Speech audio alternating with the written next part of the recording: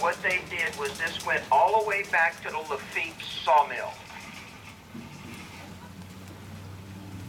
The planks you can sitting on right now came from the Lafitte sawmill. Most likely it's 100-year-old planks. Now this water right here is a little dirty. We've been having a lot of rain, and a lot of high tides and things like that. I'm hoping to find you some alligators, but alligators do not have the ability to regulate their own body temperature. So as the rain comes, the temperature changes and also the water acid changes, and alligators start looking for other places to hide.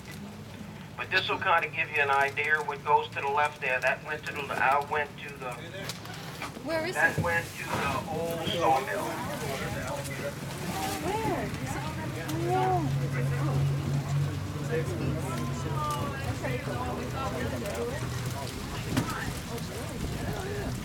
Good eye. Looking at us like y'all need to go away. oh, ruining my lunch. Yeah, he just looks like a log.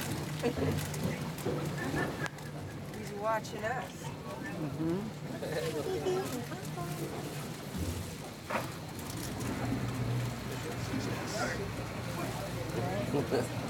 I'm happy. See See it my out real here, it. Believe me, it's gonna be looking around pretty good today.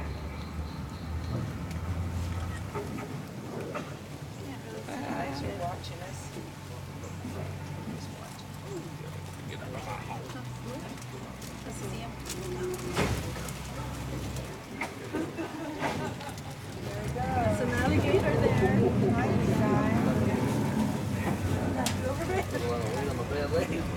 There's an alligator about four feet. No,